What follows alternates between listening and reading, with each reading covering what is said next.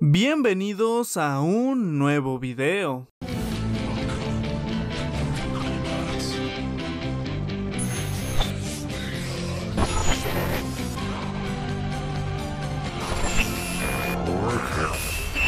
Yo soy la muerte.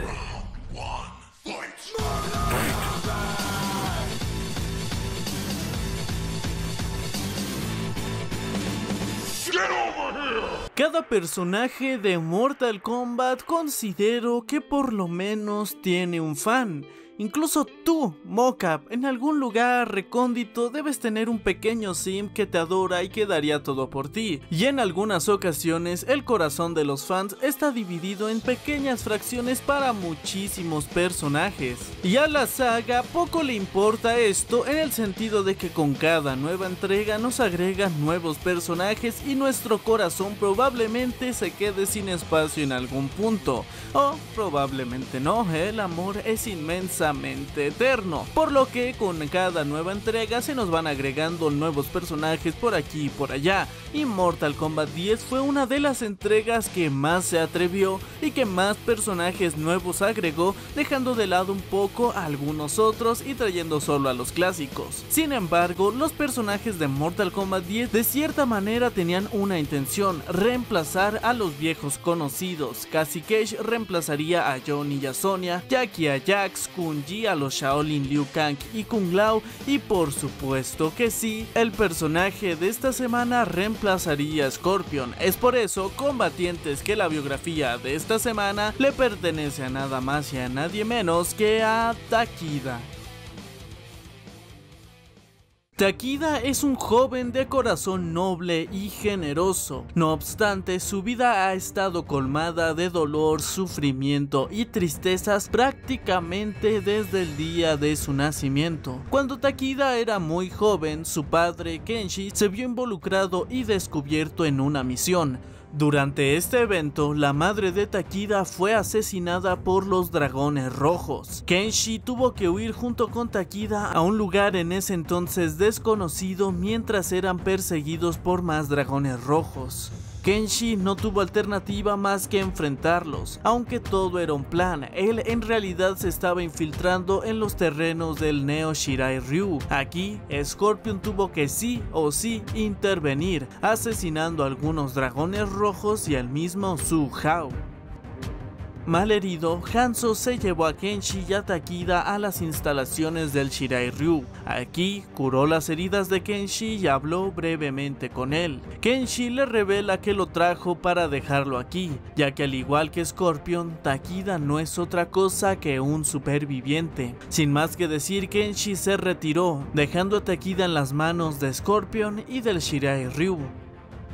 Los años pasaban y como era propio del lugar, Takida entrenó en las artes marciales de los Shirai Ryu. Poco a poco sus habilidades mejoraban, sus movimientos eran más rápidos y más fuertes. Sin embargo, su amigo y rival Fox demostraba tener muchísima más habilidad para el combate. No obstante, la vida de Takida en vez de mejorar iba a tener un gran tropezón, y es que hubo una inesperada e indeseada visita de Notificando a Scorpion que durante el último ataque pareciera que una especie de ente se ha infiltrado y que puede estar planeando algo muy grave. No mucho tiempo después, Fox, el amigo y rival de Takida, sería llamado por algo desconocido, por una daga, por un Kamidogu en posesión de Scorpion. Este se lo clavaría en el rostro arrancándose la piel y siendo poseído por el mismo. Fox, con ayuda del Kamidogu y estos nuevos poderes, acabaría con todo el Neo Shirai Ryu y capturaría a Hanzo Hasashi. Sin embargo, pareciera que su amistad significó mínimamente algo para Fox y dejó vivir a Takida. Obviamente Takida al ver lo sucedido no se iba a quedar de manos cruzadas e intenta atacar a Fox. Fox a la par que estaba provocando a Hanzo lo lograría y Scorpion saldría a la luz atacando también a Fox. No obstante, Takida sería quien acabaría con su vida partiéndolo por la mitad. Ahora Hanzo estaba furioso, su clan y su nueva familia otra vez habían caído en batalla y ahora el responsable parecía ser Raiden. Takida y Hanzo entonces emprenderían un gran viaje hacia el templo de Raiden para que éste rinda cuentas. Poco antes de llegar, ambos acamparían mientras platicaban un poco sobre el origen de Hanzo y qué es lo que ha sucedido con respecto al Shirai Ryu. No obstante, la tormenta se haría mucho más espesa y un gran rayo impactaría contra Hanzo, pero no sería un rayo, sino que sería el mismísimo Raiden descendiendo y amenazando a Hanzo. ¿Cómo es posible que se atrevía a llegar hasta este punto?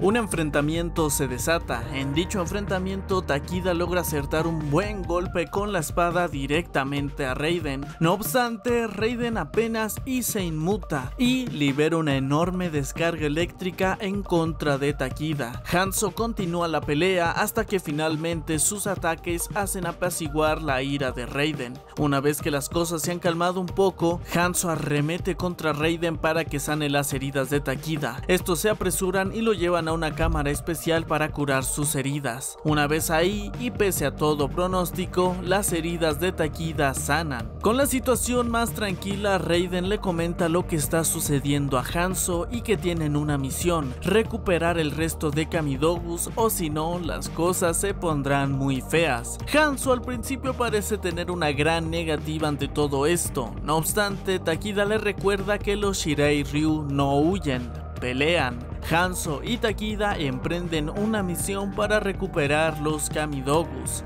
La primera misión los lleva a una ciudad poblada, donde el objetivo es nada más y nada menos que Sub-Zero. Un gran enfrentamiento comienza, sin embargo tanto las habilidades de Hanzo como las de Sub-Zero son muy superiores a las de Takida, el cual solo se limita a mirar en un principio. Una gran batalla continúa hasta que Sub-Zero libera una gran explosión congelando a Takida y a Hanzo. Y Hanzo finalmente es quien termina derrotando a Sub-Zero. Takida se descongela y podemos observar que tiene el Kamidogu en su poder. Finalmente se retiran victoriosos de la escena.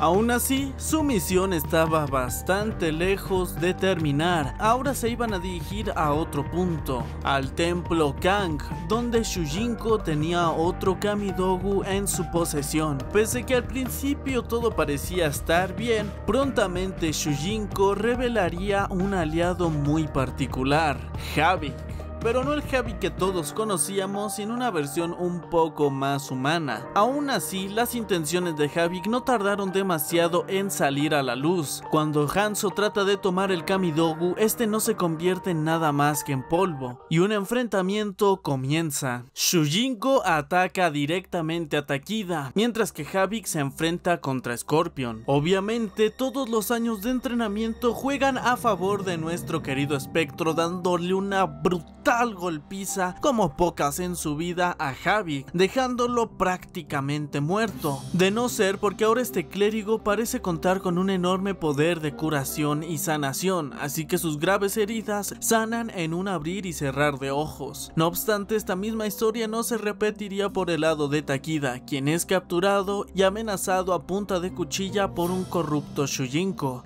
Scorpion baja la guardia, tiene que tener paciencia en una situación como esta. Havik por supuesto que no iba a desaprovechar y arremete brutalmente contra nuestro espectro. Golpe tras golpe tras golpe la vida de Hanzo Hasashi se extingue mientras que Takida no puede hacer nada. Finalmente el cuerpo de Hanzo ya no lo resiste más y este fallece en brazos de Takida.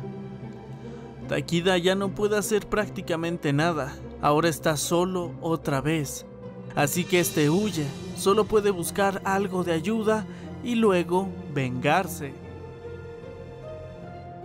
Cuando llega algún destino es nuevamente al templo de Raiden, pero se encuentra con una desagradable sorpresa. Raiden también está corrupto, atacó a Fujin y lo dejó sumamente herido. Fujin le explica un poco de la situación, le dice que ahora él también es el enemigo, así que prepara a Takida con armamento, un traje y dándole energía vital del Jinsei de la tierra para que pueda resistir las peleas como nunca nadie lo ha hecho. Ahora Takida tiene una misión, buscar venganza y atrapar a Raiden.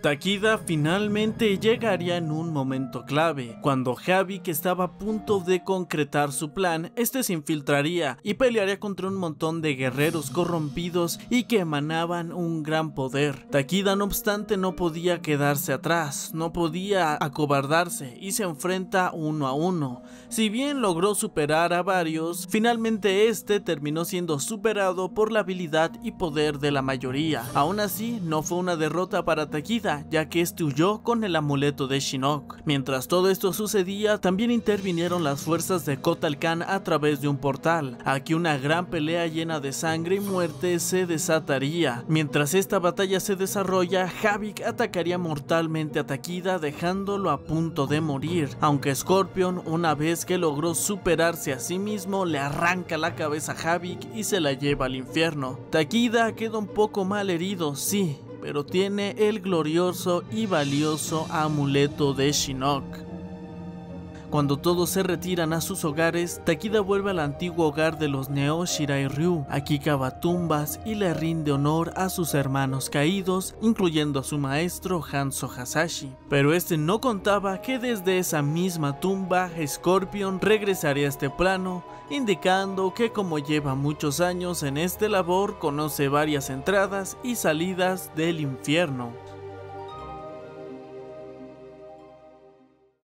A partir de aquí, Takida continuaría su entrenamiento. Si bien ya era muy bueno peleando, esto probablemente no bastaría en ciertas circunstancias, y en determinada ocasión y durante un entrenamiento para ascender de rango, derrotaría a Scorpion, pero una desagradable sorpresa estaría frente a sus ojos. Su padre biológico, Kenshi, haría acto de presencia. Este trataría de justificarse, pero ante ojos de Takida no había justificación alguna para lo que sucedió, para su abandono, para la muerte de su madre. Sin embargo, Kenshi se sigue justificando hasta que sus palabras hacen entrar en razón a Takida, claro, no sin antes haber peleado físicamente. Así, parece que Takida finalmente tiene a su padre biológico y sigue aprendiendo día a día de su maestro Hanzo Hasashi.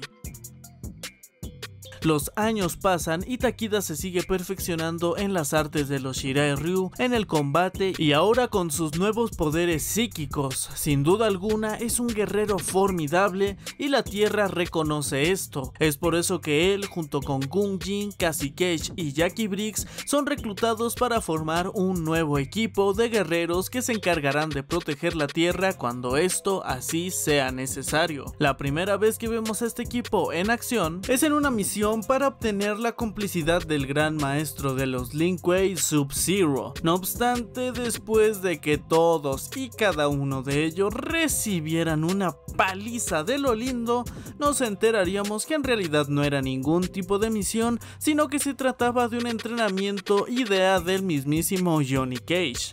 Tras este entrenamiento y con la moral del equipo por los suelos, deciden volver al cuartel de las fuerzas especiales. Una vez aquí se les asigna una nueva misión, viajar al mundo exterior y asegurarse de que cuentan con el apoyo de Kotal Khan además de reunir cierta información sobre lo sucedido. Sin embargo, este despliegue no es del todo exitoso debido a que se ven inmiscuidos en distintos conflictos aunque principalmente estos son culpa de Kung Jin.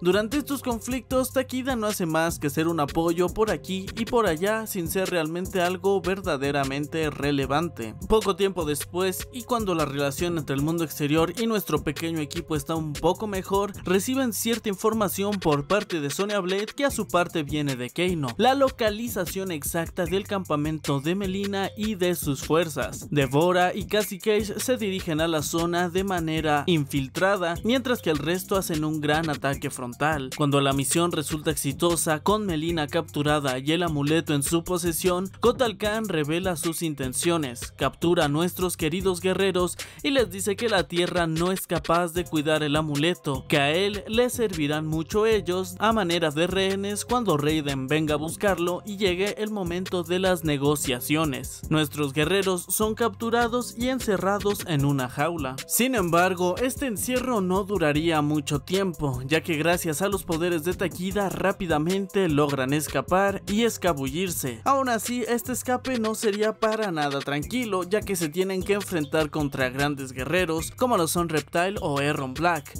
Nuestros guerreros se enfrentan contra ellos y después de un gran esfuerzo logran derrotarlos y superarlos, obteniendo así nuevamente su libertad. Su misión ahora, una vez libres, es buscar, capturar y recuperar el amuleto de Shinnok que está a manos de Devora. Aunque cuando finalmente dan con el paradero de Devora y el amuleto en el reino de la tierra es un poco tarde.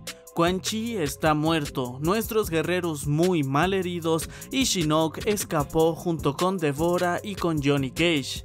Takida y el resto llegan a la escena para dar, para dar atención médica a sus queridos familiares, compañeros y amigos y ahora con estas heridas ellos son los únicos que pueden salvar al reino de la tierra. Así Takida y el resto emprenden un gran viaje donde tal vez no sobrevivan. Estos no pueden llegar al templo de Raiden tan fácilmente, por lo que tienen que parar un poco antes en medio de un bosque. Sin embargo aquí las cosas se tornarían bastante complicadas como ya sabemos, ahora nuestros guerreros son prófugos del mundo exterior y Kotal no se iba a quedar con las manos cruzadas. Este junto con un montón de Oshtex y guerreros llegan a dicha locación con la intención de darle caza a nuestros guerreros. Estos se enfrentan aguerridamente, unos contra otros, golpe tras golpe, patada tras patada. Y si bien se desempeñaron bien al principio, prontamente el número jugaría bastante en su contra, hasta que el gran maestro Lin Kuei junto con el resto de los Lin Kuei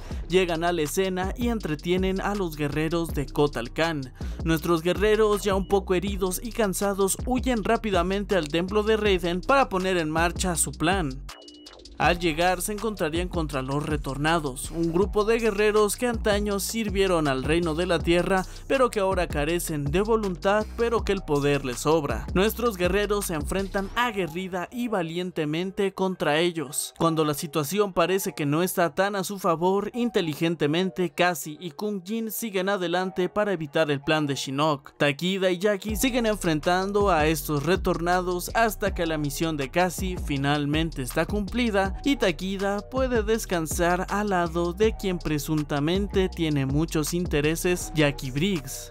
Estos se recargan el uno en el otro, heridos, cansados, pero al fin en un momento de paz, dándonos a entender que su vida puede ir a los rumbos que ellos mismos quieran. Y es todo lo que sabemos de este personaje hasta el momento. Quiero mandar un saludo y un enorme agradecimiento a mis queridos miembros del canal que me brindan este maravilloso apoyo que ayuda muchísimo más de lo que se pueden llegar a imaginar. Concretamente a Giancarlo Cristiano, JD, Mimikius, Santi Reales, Santulino, Fabián Diego Almirón, Mario Padilla y Rafael Jacobi. En serio, muchísimas gracias por brindarme este maravilloso apoyo. Te recuerdo que si tú no puedes o sencillamente no quieres ser miembro del canal, viendo mis videos, comentando, compartiendo, dando like, suscribiéndote, ayudas muchísimo más de lo que crees. Pero mis queridos miembros, en serio, este apoyo ayuda a que este proyecto siga día a día, así que muchísimas gracias. Si bien pareciera que Takida es un personaje totalmente nuevo para la saga, su nombre en realidad no lo es, ya que Takida es el nombre del fundador del clan Shirai Ryu, esto en la serie Mortal Kombat Conquest. Fue el segundo Shirai Ryu conocido de toda la saga después de Scorpion. Se revela en el cómic que Fujin fue quien le dio los látigos espinosos a Takida y le dio fuerza con la energía del Jinsei. La cinta que lleva en la frente tiene el símbolo de los Shirai Ryu. Takida es una especie de cameo en una pantalla observa Johnny Cage durante Mortal Kombat 11. De igual manera, Takida es mencionado en algunos diálogos entre distintos personajes en Mortal Kombat 11. Takida aparece en los siguientes Mortal Kombat, Mortal Kombat 10. Pero bueno, con esto terminamos este video y esta nueva biografía. Espero que te haya gustado. No olvides comentar qué te pareció, qué otros videos y biografías te gustaría ver en el canal, así como coméntame si ya conocías toda la historia de este maravilloso personaje. Tampoco olvides seguirme en mis sociales como lo son Facebook, Twitter, Instagram, especialmente en esta última que es donde estoy más activo. Y sin más que decir, se despide su amigo